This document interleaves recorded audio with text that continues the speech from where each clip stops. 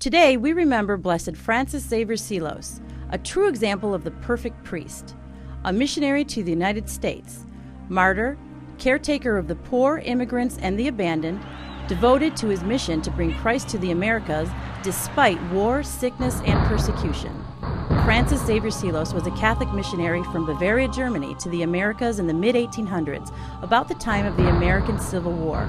He spent 27 years as a priest working tirelessly for the people in several parishes in the United States.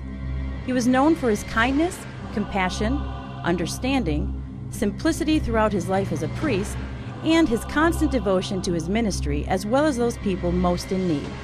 He is known as a martyr for his devotion to his final parish in New Orleans, where he died from yellow fever while taking care of many other victims of the disease.